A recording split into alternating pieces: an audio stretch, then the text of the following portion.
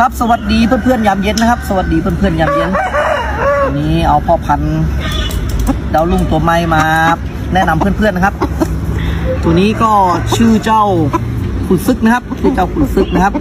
เป็นลูกเจ้าของรัวแม่เพชรนะครับ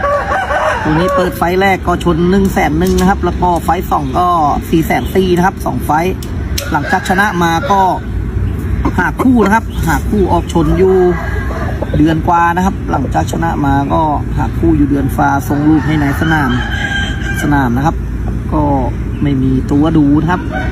ไม่มีตัวดูก็แสดงว่ายังไม่มีวาสนาได้ชนแพงนะยังไม่มีตรงกับใครนะครับ ตอนนี้ก็จะเปิดตัวทำพ่อพันธุ์นะครับทำพ่อพันธุ์แล้วเพราะว่าคนเขาเริ่มโรยนะครับเริ่มหลุดแล้ว